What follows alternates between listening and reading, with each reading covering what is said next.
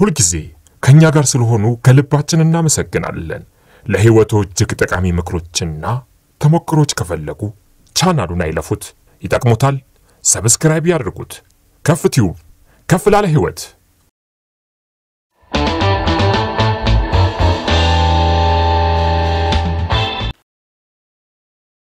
ሰላም ሰላም ሰላም፣ እንዴት ናችሁ? የተከበራችሁ የከፍ ቲዩብ አድማጭ ቤተሰቦች፣ ተመልካች ቤተሰቦቻችን ሰላምታዬ በያላችሁበት ሁሉ ይድረሳችሁ።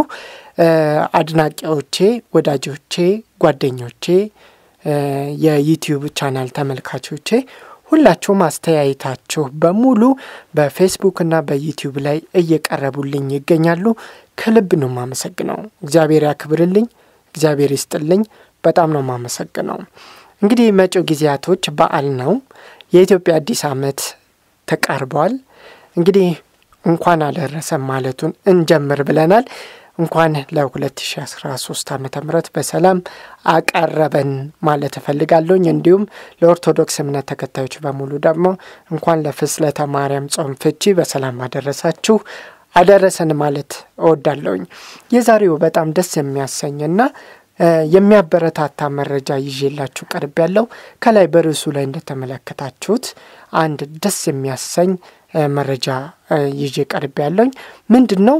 አርባ አራት ሺ አራት መቶ የሳውዲ ሪያል ደሞዟ የተከፈላት እህታችን ተገኝታለች። ይህ በጣም ደስ ያሰኛል። እንዴት ይህን ያህል ገንዘብ ሳይከፈላት እስካሁን ቆይ የሚለውን ታሪኩን ከመጀመሪያው እስከ መጨረሻው ነግራችኋለሁ።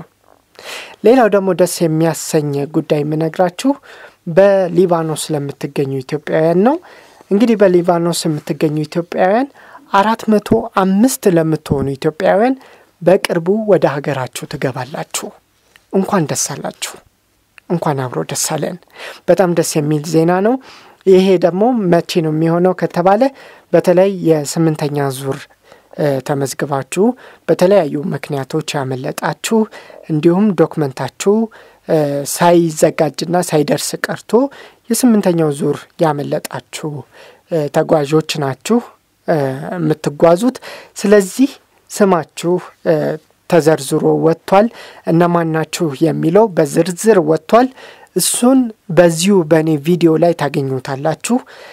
ፖዝ እያደረጋችሁ ስማችሁን እያነበባችሁ ተመልከቱት። ቪዲዮ ውስጥ ስማችሁ በዝርዝር ቀርቧል ማለት ነው። ስለዚህ ስማችሁ ከዚህ ስር የተጠቀሰላችሁ በስምንተኛው ዙር የትራንስፖርት ወጪዎቻችሁን በሙሉ ራሳችሁ በመሸፈን ወደ ሀገር ቤት ለመጓዝ የተመዘገባችሁ የመጀመሪያ የመኖሪያ ፍቃድ የሌላችሁ ዜጎቻችን ኢትዮጵያውያን በሙሉ ቆንጽላ ጀነራል ጽሕፈት ቤቱ የእያንዳንዳችሁን የጉዞ ሰነድ አጠናቆ የመውጫ ቪዛ እንዲሰራ ለሊባኖስ ኢሚግሬሽን ጉዳይ መስሪያ ቤት መልሶ አስገብቶ በመጠባበቅ ላይ ይገኛል። ስለዚህ የመውጫ ቪዛ ተሰርቶ ወደ ቆንጽላ ጽሕፈት ቤቱ እንደደረሰ ስለምታደርጉት ዝግጅት የሚያሳውቋችሁ ይሆናል። ስለዚህ ሌሎች ስማችሁ ያልወጣላችሁ ደግሞ የስምንተኛው ዙር ተመዝጋቢዎች ጉዳያችሁን ቆንጽላ ጽሕፈት ቤት ጀነራሉ በትኩረት እየተከታተለው መሆኑን አውቃችሁ በቀጣይ ጉዳያችሁ ሲያልቅ የሚገለጽ መሆኑን ጽሕፈት ቤቱ እንድታውቁት ብለው በፌስቡክ ገጹ ላይ ስም ዝርዝሩን ሁሉን ነገር ለቆታል ማለት ነው። ስለዚህ በስምንተኛ ዙር ወደ ሀገራችሁ እንድትመለሱ ከሊባኖስ ኢሚግሬሽን የተፈቀደላችሁ ዜጎች ቁጥር አራት መቶ ሀምሳ የሚል ቢሆንም ዝርዝሩ ሲሰጥ ወይም ደግሞ ሲጠራ የስም ድግግሞሽና መስተካከል ያለባቸው ግድፈቶች መገኘታቸውን ዝርዝሩ በዚሁ መልክ የተዘጋጀ መሆኑን እንድታውቁ ብሎ ስም ዝርዝሩን ለቆታል። ስም ዝርዝሩን በሙሉም እኔ በቪዲዮ ቀርጬ ይዤው ቀርብ ያለው ቪዲዮ ላይ ፖዝ እያደረጋችሁ ስማችሁ እንድታዩ አቅርቤላችኋለሁ ማለት ነው። ስለዚህ እሱን እንድትመለከቱ ሌላው አስደሳች መረጃ ደግሞ ምንድን ነው?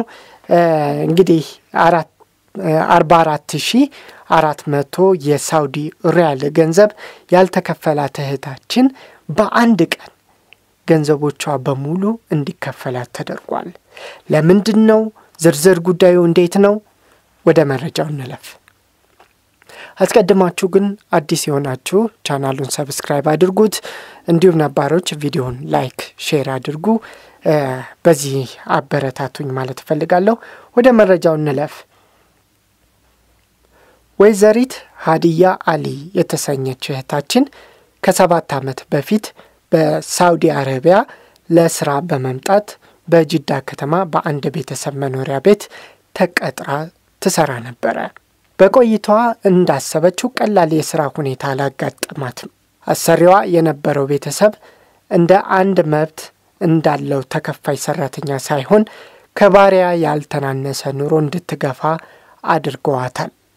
ሀዲያ ከስራ ባለፈ የእረፍት ጊዜ እንዳይኖራትና ከዘመዶቿ ከወዳጆቿ ጋርም እንዳትገናኝ ተደርጋ በግዞት ከግዞት ያልተናነሰ ሕይወት ስትገፋ ቆይታለች። በዚህም ምክንያት በኢትዮጵያ የሚገኙ ቤተሰቦቿ ልጃችን በሕይወት የለችም ብለው በሐዘን ውስጥ ቆይተው ነበረ። ከዚህ የሥራና የእረፍት ማጣት ባለፈ የከፋው ደግሞ አሰሪዎቿ የመጀመሪያዎቹን ሁለት ዓመት ከከፈሏት በኋላ ያሉትን ቀጣይ አምስት ዓመት የሰራችበትን የደከመችበትን ደሞዟን ሳይከፍሏት ይሰወራሉ። የእህታችን ሀዲያን ጉዳይ የተመለከተው መረጃ ለቆንጽላ ጽሕፈት ቤቱ እንደደረሰም ቆንጽላው ከአሰሪዎቿ ጋር ሁኔታውን በሰላም ለመፍታት የተደረገው ሙከራ አሰሪዎቿ አሻፈረኝ በማለታቸው እና ጭራሹንም አድራሻቸውን አጥፍተው በመሰወራቸው ጉዳዩን ከሳውዲ ፖሊስና የደህንነት መስሪያ ቤት ጋር በመተባበርና አሰሪዎቿን አፈላልጎ በማግኘት ወይዘሪት ሀዲያ በውሏ መሰረት የሰራችበትን ቀሪ ገንዘብ 44400 የሳውዲ ሪያል በሙሉ ገንዘቧን እንድታገኝ ተደርጋለች። በጣም ደስ የሚያሰኝ መረጃ ነው። ደስ ብሎኛል። የቆንጽላው ጽሕፈት ቤቱ ባሳለፍነው ሳምንትም በተመሳሳይ በመካ ከተማ ከአሰሪያቸው የሰሩበትን ደሞዝ ሳይቀበሉ ቀርተው የነበሩ ወንድማማቾች ከአሰሪዎቻቸው ተወካይ ጋር በተደረገ ድርድርና ሽምግልና የቀረበባቸውን የገንዘብ ሁኔታን አስረግጠው በመናገር እንዲከፈል ማስደረግ መጀመራቸውን እንደዚሁ መረጃዎች ወጥተዋል። በቀጣይም ቀሪ የገንዘባቸውን በሂደት እንዲከፈላቸው ከአሰሪዎቻቸው ጋር ከስምምነት ላይ መደረሱንም እንደዚሁ ሰምተናል ማለት ነው።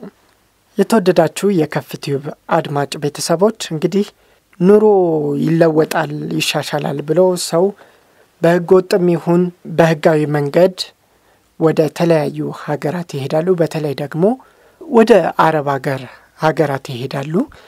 እዛም ሂደው እንዳሰቡት ጥሩ እንሰራለን ብለው ሲጠብቁ አንዳንዱ ሀገር ላይ የኢኮኖሚ ችግር ይከሰትና ማግኘት የሚገባቸውን ገንዘብ መጠን ሳያገኙ ይቀራሉ።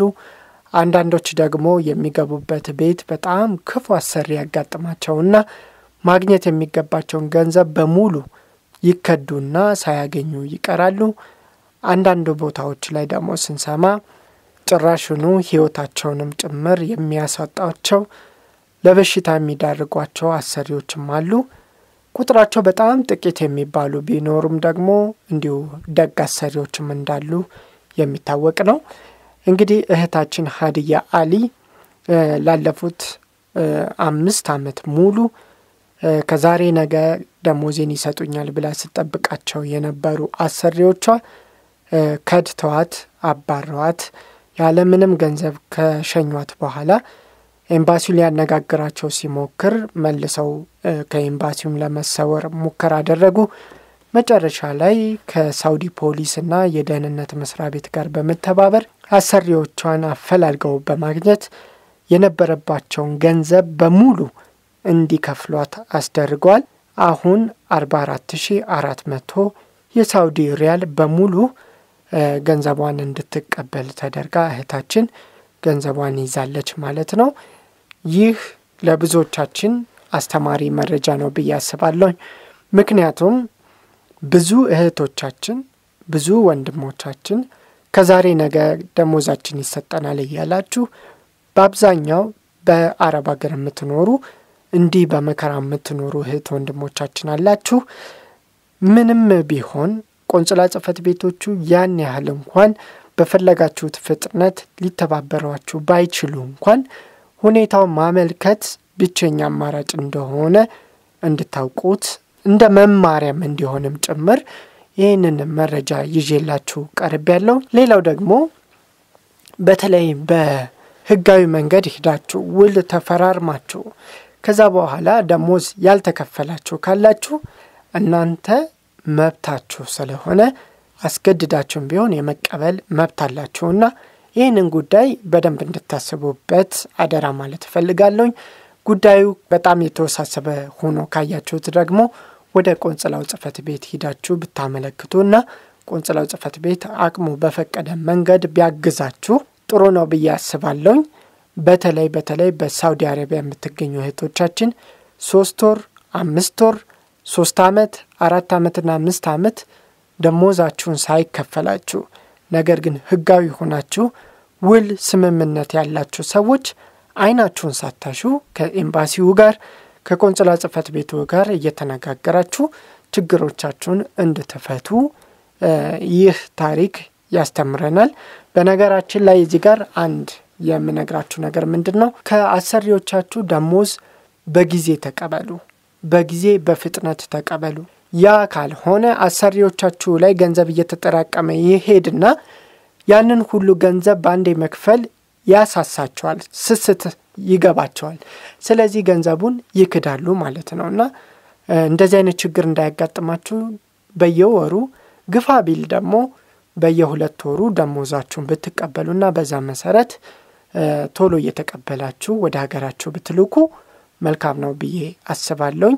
እህታችን ሀዲያ አሊ እንኳን ደስ አለሽ፣ ደስ ብሎናል ማለት እፈልጋለሁኝ። ሌላው ቤይሩት በተመለከተ ያቀረብኩላችሁ የስምንተኛ ዙር ትራንስፖርት ወጫችሁን ሸፍናችሁ እንድትሄዱ ስም ዝርዝራችሁ ይወጣላችሁ። ሌሎቻችሁ ስም ዝርዝራችሁ ያልወጣላችሁ ሰዎች በቀጣይ ይወጣላችኋል ስለተባለ እንድትታገሱ ተብላችኋል። ስም ዝርዝራችሁ የወጣላችሁ ሰዎች ደግሞ የጉዞ ዝግጅት አድርጋችሁ እንድትጠባበቁ መንግስት መረጃ ሰጥቷል ማለት ነው። ይህን ይመስላል መረጃዬ። ስላደመጣችሁኝ ከልብ ነው የማመሰግነው። ቪዲዮን like፣ share አድርጉት። ሀሳብ አስተያየታችሁን በሜሴንጀር አሊያም ደግሞ በፌስቡክ ቪዲዮዎች ስር comment ላይ ልታስቀምጡልን ትችላላችሁ። ስላደመጣችሁኝ አመሰግናለሁ። በቀጣይ በሌላ ቪዲዮ እንገናኛለን። እስከዛው በያላችሁበት ራሳችሁን ከኮሮና ቫይረስ ጠብቁ። ቻው